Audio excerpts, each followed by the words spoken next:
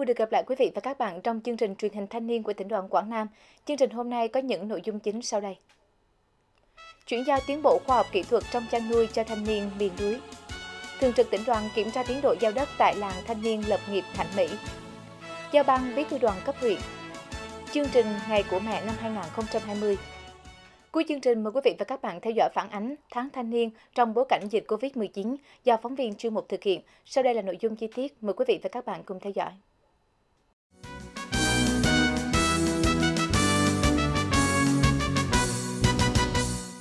Hưởng ứng tháng thanh niên, huyện đoàn Nam Trà My vừa ra quân thực hiện nhiều công trình phần việc ý nghĩa. Theo đó, huyện đoàn đã tổ chức thăm và tặng quà cho ba gia đình thanh niên xung phong có hoàn cảnh khó khăn và già làng tại nóc Ông Ngọc, thôn 1 xã Trà Dân, giúp đỡ một thanh niên yếu thế làm nhà bếp, hỗ trợ gia đình thanh niên nhập ngũ và 10 hộ gia đình tại nóc Ông Ngọc di chuyển nhà qua khu dân cư mới tư vấn sức khỏe, khám chữa bệnh, cấp phát thuốc miễn phí cho bà con nhân dân của 47 hộ gia đình tại nóc Ông Ngọc, thôn 1 xã Trà Dân, hỗ trợ mô hình phát triển kinh tế cho thanh niên. Cũng trong chương trình, bà con nhân dân đã được các đồng chí công an phổ biến về các tệ nạn xã hội cũng như tác hại của nó đối với đời sống nhân dân, cộng đồng và xã hội.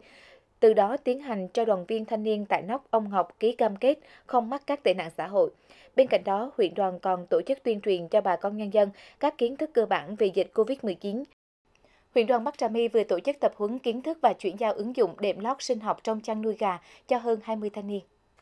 Tham gia buổi tập huấn, thanh niên được hướng dẫn kiến thức về kỹ thuật nuôi gà trên nền đệm lót sinh học từ các khâu chuẩn bị chuồng trại, chọn giống gà, chăm sóc, phòng bệnh.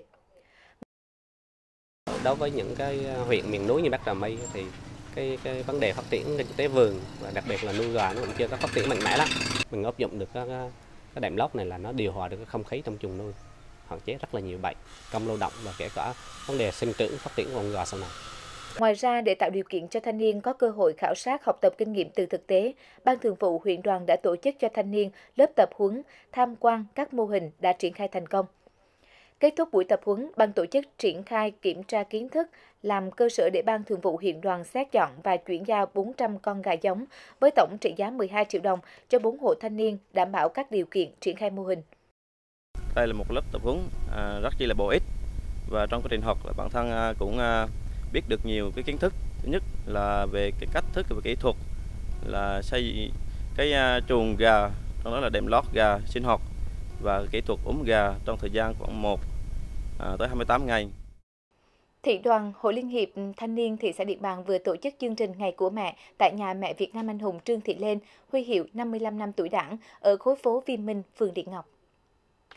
Tại đây, Thường trực thị đoàn đã thăm hỏi trò chuyện và cùng lắng nghe những câu chuyện thời kỳ kháng chiến chống giặc, những đau thương mất mát cũng như sự hy sinh cao cả của một người mẹ trong thời kỳ bấy giờ. Cùng lúc này, các bạn đoàn viên thanh niên cũng tổ chức lắp đặt lại hệ thống điện cho gia đình mẹ, tổ chức dọn vệ sinh khuôn viên nhà, tổ chức đi chợ nấu ăn. Bữa cơm yêu thương đã khiến cho mẹ Việt Nam anh hùng Trương Thị Lên xúc động và cảm thấy vui khi đón nhận tình cảm từ cán bộ đoàn viên thanh niên thị xã. Dịp này, thị đoàn, Hội Liên hiệp Thanh niên thị xã cũng dành món quà tình cảm dành cho mẹ và mong mẹ luôn mạnh khỏe, sống vui cùng con cháu gia đình.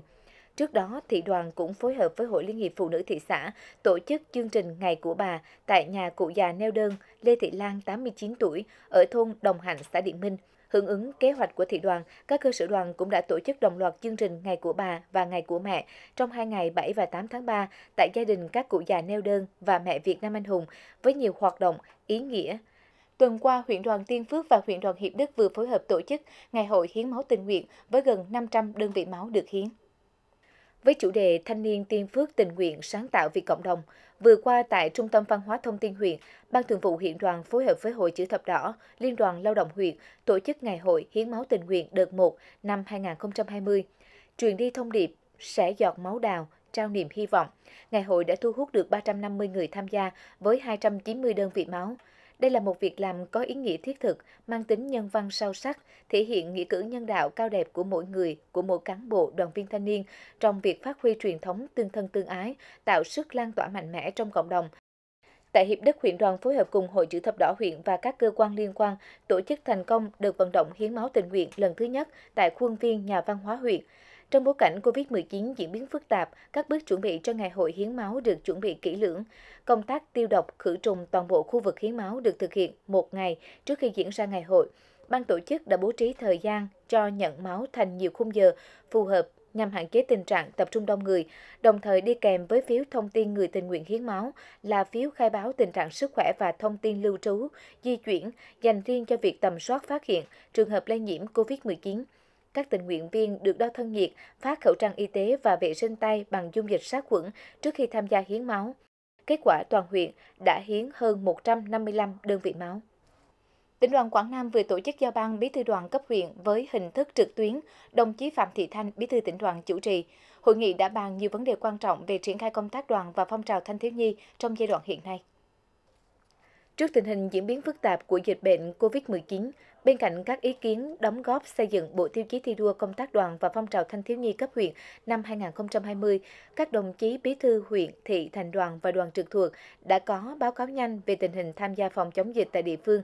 nhiều cách làm mới hiệu quả trong việc tuyên truyền cũng như chung tay phòng chống COVID-19 được chia sẻ nổi bật như việc đoàn viên thanh niên thị trấn Hương An may khẩu trang phòng chống dịch, đoàn trường cao đẳng kinh tế kỹ thuật, cao đẳng y tế Quảng Nam điều chế dung dịch rửa tay sát khuẩn. Các cơ sở đoàn tại thành phố Tam Kỳ, huyện Nam Giang tuyên truyền bằng loa di động tại các khu đông dân cư. Các cấp bộ đoàn phát hàng chục nghìn khẩu trang y tế và hàng trăm nghìn tờ rơi phòng chống dịch cho nhân dân và khách du lịch. Bên cạnh đó, các đơn vị cũng đã báo cáo tình hình triển khai các hoạt động tháng thanh niên trong bối cảnh dịch COVID-19.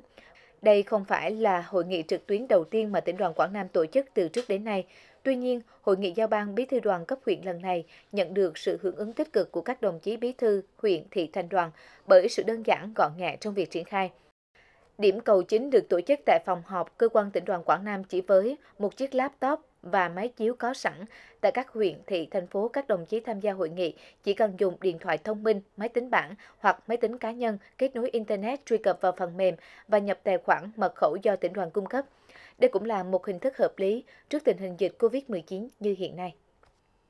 Thường trực tỉnh đoàn Quảng Nam vừa có chuyến khảo sát kiểm tra tiến độ bàn giao đất sản xuất cho thanh niên tại làng thanh niên lập nghiệp Thạnh Mỹ, huyện Nam Giang. Dự án làng thanh niên lập nghiệp Thạnh Mỹ có tổng diện tích theo quy hoạch 600 ha, tổng nguồn vốn thực hiện đến tháng 3 năm 2019 khoảng 30,7 tỷ đồng, trong đó ngân sách trung ương 19,2 tỷ đồng, ngân sách tỉnh 11,5 tỷ đồng.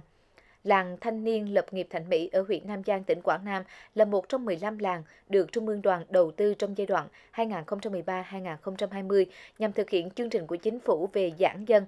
Hiện nay có 60 hộ thanh niên đã được tuyển chọn vào làng thanh niên lập nghiệp Thạnh Mỹ, trong đó hầu hết các gia đình đã sinh sống ổn định, chỉ còn vài hộ đang hoàn thiện nhà. Mỗi hộ dân khi vào làng sẽ được hỗ trợ 20 triệu đồng để làm nhà, được cấp 600 m vuông đất ở, 3 hecta đất sản xuất, giao khoáng bảo vệ 3 hecta rừng, hỗ trợ 6 tháng gạo ăn với mức 15 kg gạo mỗi người một tháng. Hiện nay, công tác bàn giao đất sản xuất đang được triển khai khẩn trương với trên 30 hộ đã nhận đất sản xuất. Trước tình hình dịch bệnh COVID-19 có diễn biến phức tạp, khẩu trang y tế thường xuyên trong tình trạng khan hiếm nguồn hàng, các bạn trẻ thành phố Tam Kỳ đang có việc làm thiết thực chung tay phòng chống COVID-19. Tại căn nhà nhỏ nằm trong một con hẻm ở đường Tiểu La, gần 10 đoàn viên thanh niên khối phố Mỹ Đông, phường An Mỹ, thành phố Tam Kỳ đang hăng say với công việc của mình. Mỗi người một tay, may, xử lý nhiệt, cắt quai, đóng gói. Chỉ trong vòng chưa đến một phút, một chiếc khẩu trang 4 lớp đã hoàn thành. Khi trong những thời gian rảnh chúng như thế này thì chúng em có thể ờ, qua đây phụ giúp làm những khẩu trang y tế miễn phí. À, qua những qua công việc này thì em đã góp một phần vào việc uh, chung tay phòng chống dịch bệnh Covid-19. Loại khẩu trang này có thể giặt sạch và sử dụng nhiều lần. Công ty Mai thời trang mỹ thuật á là có cơ sở ở trên Tâm Giang, hay mình ở nhà là cũng có tổ hợp máy máy mình cũng uh, hỗ trợ một uh, xí công việc của mình đây à, để cho các à, đoàn viên thanh niên rồi tới nhà tập trung tới nhà để à, sản xuất khẩu trang. Theo chi đoàn khối phố Mỹ Đông, hơn 2.000 khẩu trang đã được các bạn trẻ hoàn thành và đã triển khai phát miễn phí.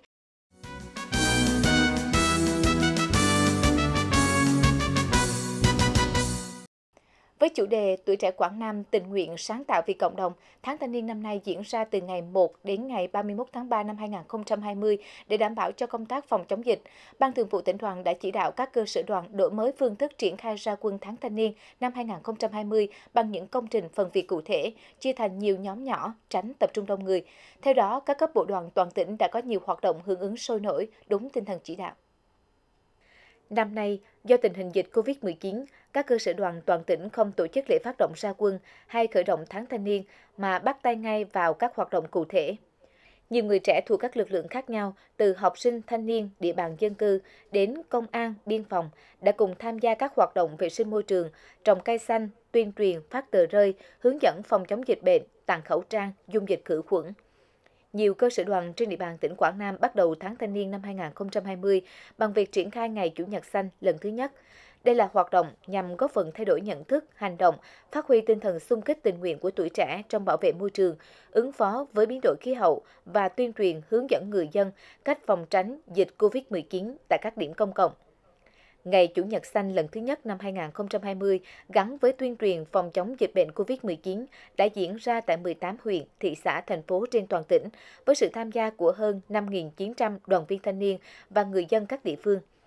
Hưởng ứng à, Ngày Chủ nhật xanh trên toàn quốc, sáng nay tuổi trẻ chúng tôi ra quân đồng loạt ra quân dọn dẹp thu gom à, rác thải nhựa trên các tuyến đường của trên địa bàn à, đóng quân và tổ chức phát quang khuôn viên nhà công vụ nơi làm việc hoạt động lần này góp phần à, xây dựng cái môi trường cơ quan đơn vị xanh sạch đẹp và tạo tuyến đường văn minh.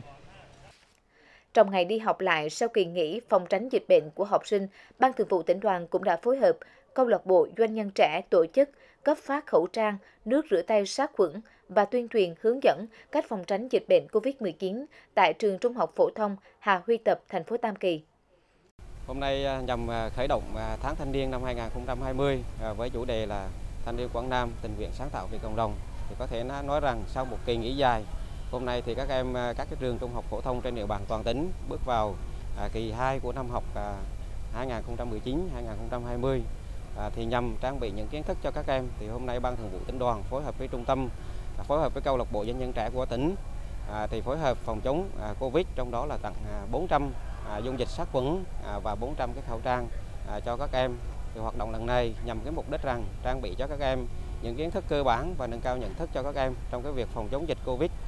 Tại các phòng học, các đồng chí cán bộ tỉnh đoàn, thành đoàn Tam Kỳ, câu lạc bộ doanh nhân trẻ tỉnh đã trao tận tay hơn 400 lọ dung dịch rửa tay khô và khẩu trang dùng nhiều lần cho các em học sinh, đồng thời hướng dẫn học sinh mang khẩu trang, rửa tay đúng cách và một số điều cần biết để phòng chống dịch. Sáng nay là trường em được à, phát nước rửa tay và khẩu trang để phòng chống dịch bệnh khiến cho à, làm cho tụi em cảm thấy yên tâm hơn để đến trường. Được biết, tháng thanh niên năm 2020, Ban Thường vụ tỉnh đoàn Quảng Nam đề ra 8 chỉ tiêu cơ bản cho các huyện, thị, thành đoàn, đoàn trực thuộc và 3 chỉ tiêu trọng tâm cho các cơ sở đoàn. Tỉnh đoàn cũng yêu cầu các đơn vị đảm bảo công tác phòng chống dịch cho đoàn viên thanh niên trong quá trình tham gia các hoạt động, như yêu cầu đeo khẩu trang, sử dụng nước sát khuẩn tẩy, trước, trong và sau quá trình tham gia hoạt động. Cùng với đó, tiếp tục tổ chức các hoạt động hỗ trợ nhân dân phòng chống dịch bệnh. Nếu phát hiện các trường hợp nghi ngờ mắc bệnh, phải kịp thời thông báo với cơ quan chức năng có phương án đảm bảo an toàn. Thưa quý vị và các bạn, chương trình truyền hình thanh niên hôm nay của tỉnh đoàn Quảng Nam đến đây là kết thúc. Xin thân ái chào tạm biệt và hẹn gặp lại.